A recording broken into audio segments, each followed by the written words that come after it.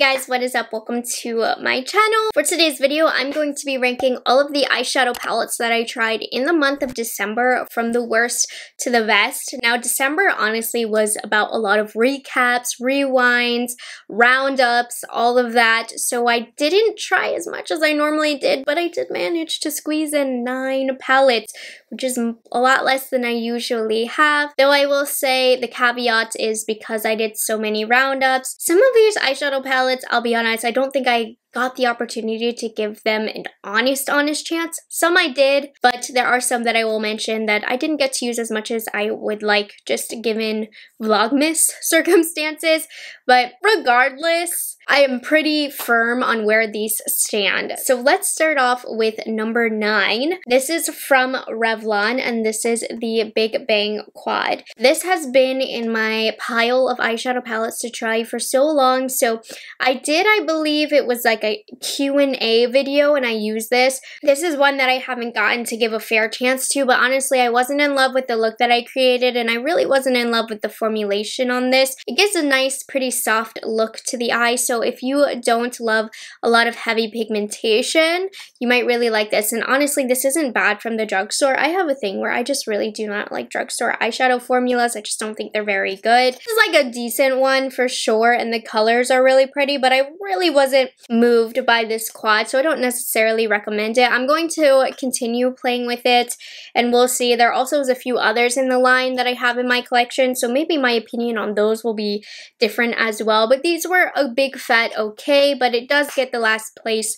for this month. Number eight is from e.l.f. Cosmetics. This is an oldie, but again, one that I grabbed for just to test out. I had it lying around and I was like, let's see what I think about this because it reminds me a lot of the Urban Decay Naked 3 palette. So the name of this is the e.l.f.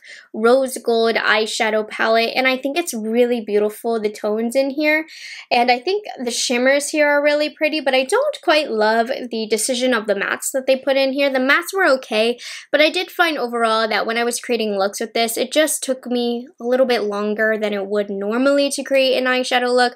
A lot of going back and repacking and reblending just because the mattes I feel like are very, very light. This is the only deep shade that they have in here and things just weren't blending as well as I would like. That being said, e.l.f. is extremely affordable. This palette is totally doable. If you aren't trying to spend a ton of money on an eyeshadow palette, I'm not going to discourage you from picking this up. Particularly the shimmers in here are really, really great, but I just didn't love it. I just tried a lot of other better palettes this month. That being said though, tis not a bad palette at all. Number seven is from Wayne Goss. I I know a lot of you guys asked me if I ever did a review of this. I didn't. I used it for the first time this month a few times, so I've really tested out the capacity of this. So this is the Tourmaline palette from Wayne Goss, and unfortunately, I'm just not in love with this palette. I love the looks that I created from this, but I feel like all of the looks that I did create kind of looked the same. There really wasn't as much versatility with this palette as I had hoped, and I've just found some of the shades to look a little bit patchy on the eye. Overall, the look of the eye was always really pretty. It had a kind of luxury finish that was really elegant on the eye. But this shade right here got hard panned within the first use. And I can pick up the glimmer, don't get me wrong, but I really do find that I have to pack and pack it on to get a glimmer level that I'm happy with. Like these two shades, they looked a little patchy to me on the eye. This shade's pretty, but it's kind of just like there. This shade works good. This shade is fine, but overall, I'm not really in love with the color story the colors really aren't as versatile as I had hoped. I've just come to the conclusions that I'm just not in love with Wayne Goss's formula. I loved his Pearl palette, but that more so has to do with the color story. I thought the color story was phenomenal, but again, the quality quality was just like, eh.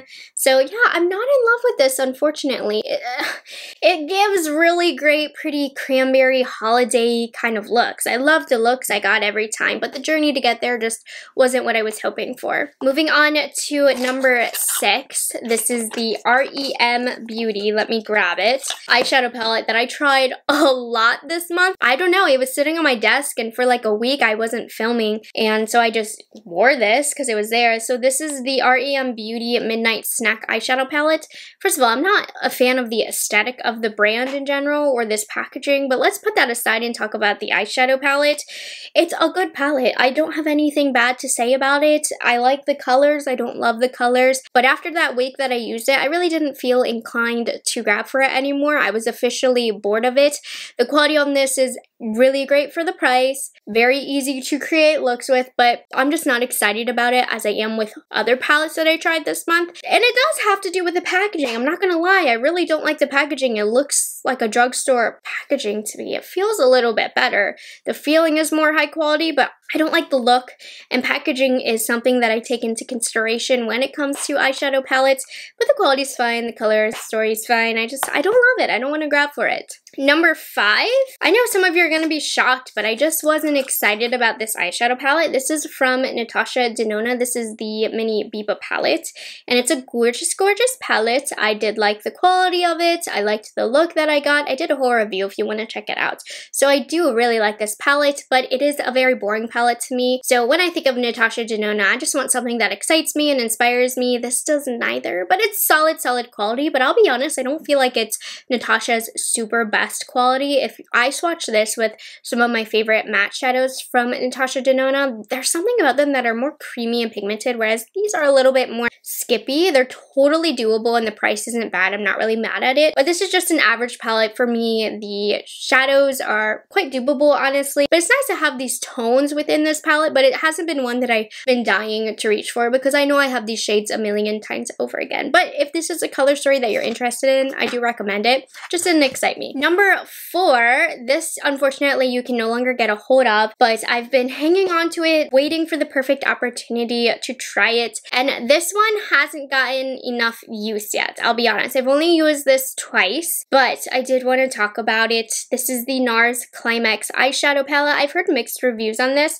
I know some people love it, some people hate it, and I'm like neutral about this. I love the shimmers in here, and I love, love, love, love, love, love, love the color story. This is such a unique palette, and that instantly is pushing it towards the top. Just the fact that I do not have a palette that plays with these tones totally inspiring to me. I wore this New Year's for my New Year's dinner and the main show of that was these two shadows, the green and the blue. Stunning look. Love the shimmers in here. My reservation about this is I feel like the mattes don't stand out on their own. They kind of blend into mush, which I don't really like. So when I'm creating a look to get the most versatility out of this, I kind of have to stick to one color theme when it comes to the mattes, you know? If I mix these three together, they're going to be really mushy looking. I kind of have to do either these these two or these two to get a distinct look to give each color a meaning in the palette. So I'm not a huge fan of the mattes in here, but I love the tones. I do have to adjust how I use it, but the shimmers are really, really pretty. So that's kind of where I stand with this palette. I still really love it though, just because of the color story.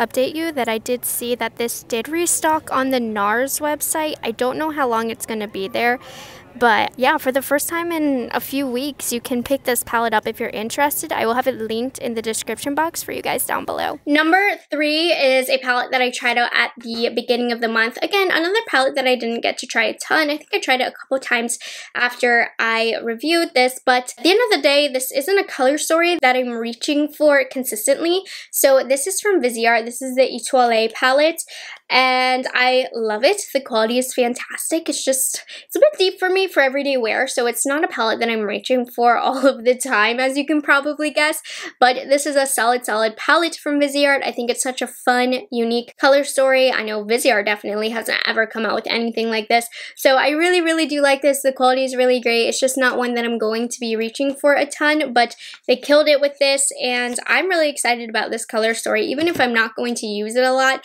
I do feel really, really inspired by it. So if it is a color story that you think you would wear a lot, please pick it up. It is so good. Number two is this absolutely stunningly breathtaking palette right here. This is from Florasis. This is the Oriental Shine Makeup Relief palette. It is one of the most beautiful palettes you will ever lay your eyes on and I've had a lot of fun with this palette this month. I think the quality is really great.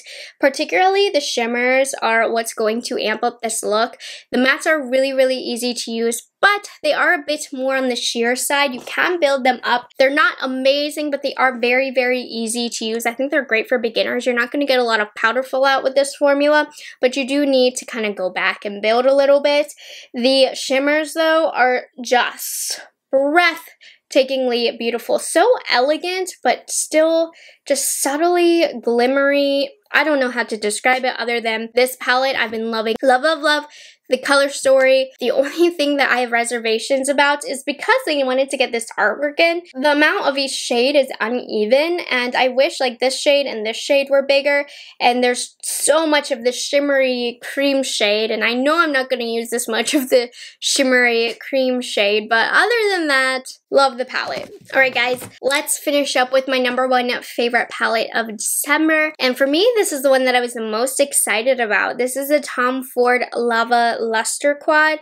Finally a good quad that Tom Ford came out with and then came out with a good one. So this is a brand new formula from Tom Ford and I wasn't sure when I saw it online what it was really uh, truly going to be like but how it looks online is how it looks in person except so much more beautiful.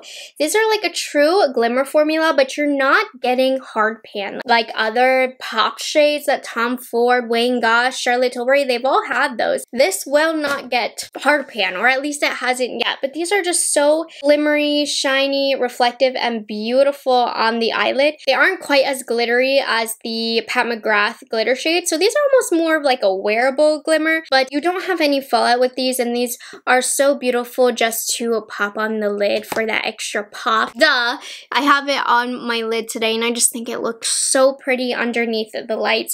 What I really want to see is him come out with this formula in other colors. Gold, I'm fine with. You know what? I wear a lot of golds, so I do like this color story, but oh my gosh, he could do some really, really, really cool color stories with this formulation that I would absolutely die for. Now this quad is $89. Is it worth it for me? Yes. I am a fan of the Tom Ford makeup line. I would suggest you should probably pick up a Pat McGrath palette instead of this Tom Ford quad if we're talking in, ter in terms of value. But nonetheless, I'm super duper excited about this palette and I really, really like it. I honestly do. So there we have it, you guys. A little bit of a shorter video this month, but those were all of the palettes that I tried in December ranked from worst to best. Did you try any of these? What were your thoughts? And I do this video every month if you enjoyed it. So if you did like it, go ahead, subscribe to my channel. You will see more. And that's all I have for today's video. I hope you guys enjoyed it and found it helpful. If you aren't subscribed to my channel already, I would love it if you would consider taking the time to do so. And I will see you guys in the next one. Bye guys, have a good one.